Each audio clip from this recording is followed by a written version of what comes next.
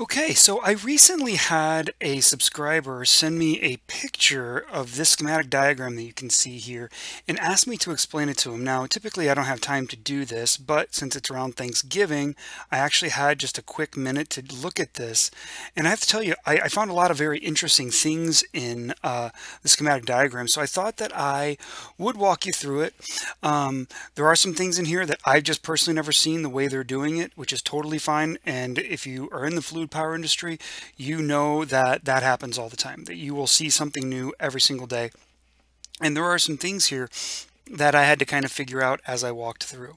So what I want to do is um, I want to tell you what I do know and what I don't. Okay, so this is in the JIC electrical schematic uh, process. That is not something I am familiar with. We use more of a ladder diagram system here in the US and um, sometimes I do, I don't struggle understanding them, but it's not something I'm familiar with and it takes me a little bit longer to snap into it. So as much as the electrical system in here does genuinely control everything about this, um, I wanted to focus more on the hydraulics okay and so um, although I will reference this a couple of times in this video all right, so let's go ahead and get started. So you can see here, there's a, in this, there's a manual switch right here, okay, which activates LS1, which is right here. And that limit switch will eventually activate um, our solenoid for our main directional control valve for our clamping systems. So what we have here is a three clamp process and a drill. Okay, now I don't know what the machine looks like. All I got was a schematic diagram. So what it's clamping and what it's drilling, I just don't know. So uh, let's go ahead and start taking a look. So here is a variable pump doesn't identify the type, but it's it's electric motor driven. So the electrical motor will convert electrical energy into rotational mechanical energy, and the pump will convert it to hydraulics. Now, a couple of things happen here that are important. Um, this is variable, and it doesn't say what type of variable it is. All right, but that means that it's probably variable pressure compensated. Um, it's, it's either a vane or a piston pump. All right, comes up to here and it has our uh, gauge. It comes up here and it splits and it goes down to our drill press, which we'll discuss in a little bit.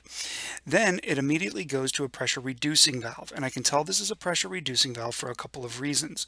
One, it's the normally open, and right there you know. Also, the pilot signal is coming from before it, and it is externally drained, which is what this line here is okay?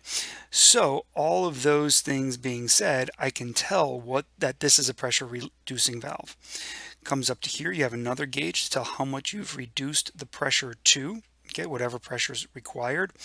And then it comes to a 4-2 directional control valve identified right here Okay, sorry, I went ahead and switched it over to so you could see it a little bit easier. So this directional control valve, this 4-2 double solenoid control valve here is our main directional control valve, which will which will control the clamping process. So typically when you are clamping something, you want to clamp in a certain sequence. Now the way they sequence is not a way that I've ever done it before, but again, no judgment. I think it's it works the way they're doing it.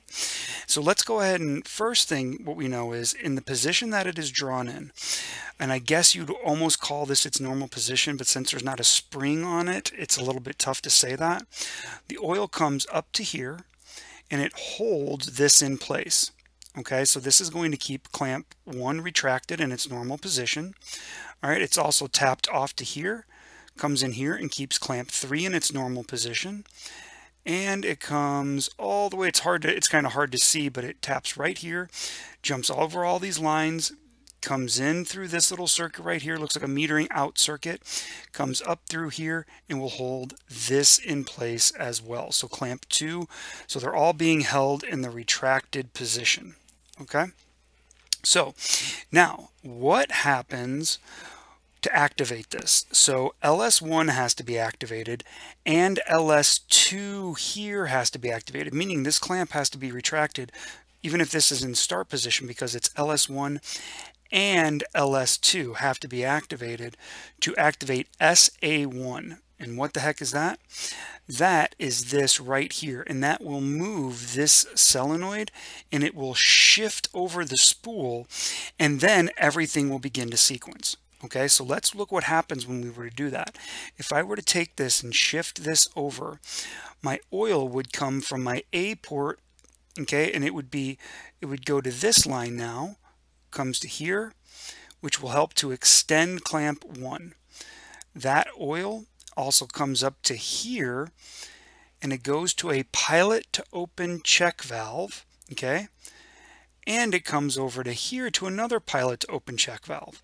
So what that means is although oil will come to this line to extend all of them it won't be able to extend clamp 1 or clamp 2 or clamp 3 okay it'll only be able to extend clamp 1 2 and 3 are not going to be able to move until specific things happen all right?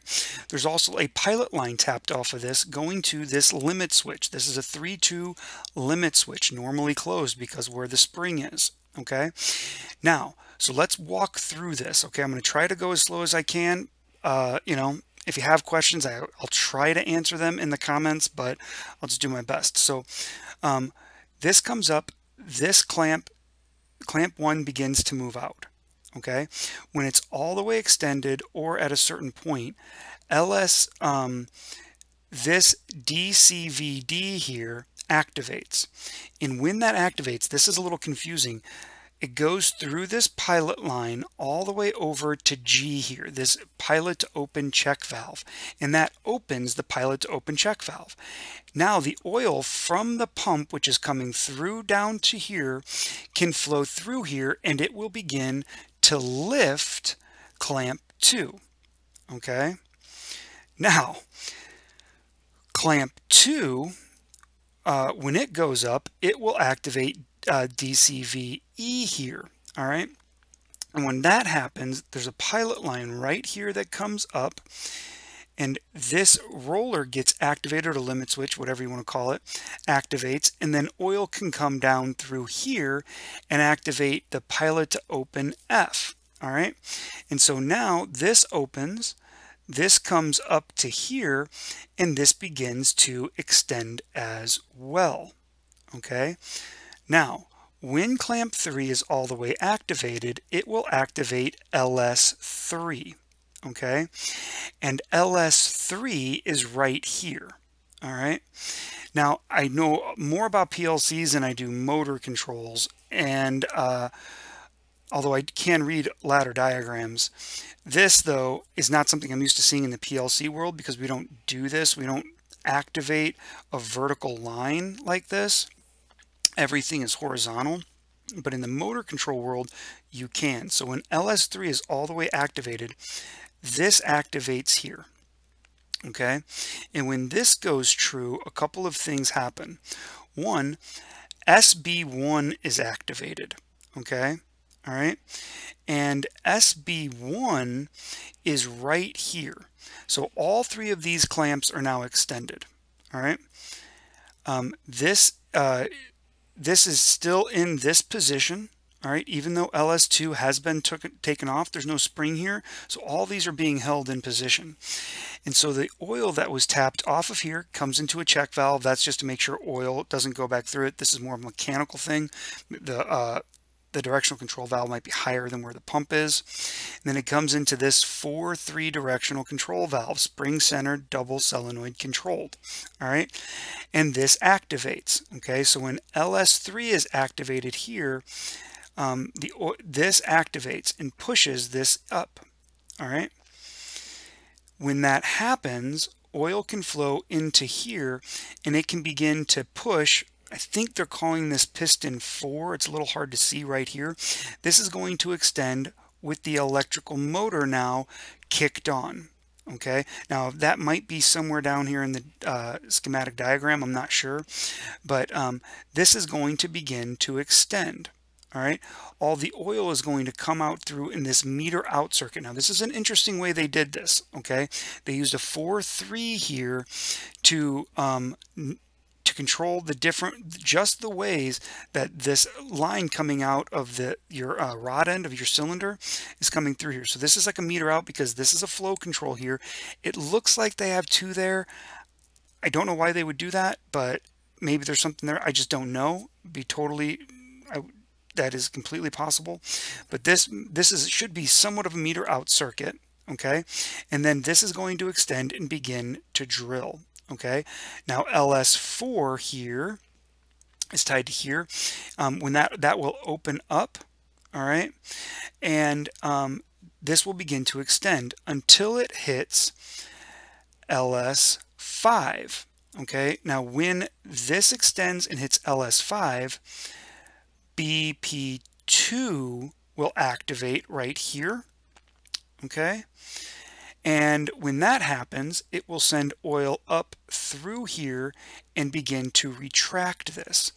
Now, what this does right here is some form, again, I've never seen this, so please comment down if you understand this, but this looks to me to be some form of like very generic speed control where automatically where it'll go at this speed here, it's in this box, then it will go to this box, then it will this box, and that will control the oil coming out of here. I've just never seen it before. Maybe it's very common and I've just never run into it. I'm not sure. Okay, so when LS4 when when LS5 is activated, okay, this will activate here. Um, BP1 will have to be disconnected, all right, and then um, A2 will be activated because as soon as LS4 is let go, this goes true, all right, and these will then begin to retract. Now, when these are retracting, they will, if I come right up here, this will retract, this will retract, and this will retract all at the same time. So all three cylinders will retract at the same time. So uh, this was a pretty cool circuit. You know, it's really nice when I get a chance to sit down and diagnose something like this and to see something maybe I've never seen before. And so uh, there may be some things I missed. I know I didn't spend a ton of time on the logic down here. I'm hoping this was more of a fluid power question uh, and not in the electrical side. But again, the electrical here is pretty straightforward. Um, there are some things in here that, you know, like K1 and 2. I feel like I used to know what those stood for. Um, I'm guessing that they're uh, indicator lights, but I, I don't know. Um, if you know, please comment down below. I'd love to. I'd love to learn. I'd love to uh, figure this stuff out. So, uh, anyway, I hope that if you, uh, I hope this circuit just kind of diagnosing it and running it through helps and I hope the person who sent me the message uh, actually watches it. So um, anyway uh, good luck in your uh, hydraulic understanding of the circuits. There's a lot of cool things in this. And even if this is something you'll never see out in the real world being able to diagnose and trying to understand all of these things are really, really important. And I have a ton of videos on hydraulics. I've never done something like this before where I break down a whole circuit, but if that's something you like, please hit the like button and I'll do more. And, uh, you know, send me a comment down below that you'd like me to see do more of these. So anyway, all right. Thank you very much.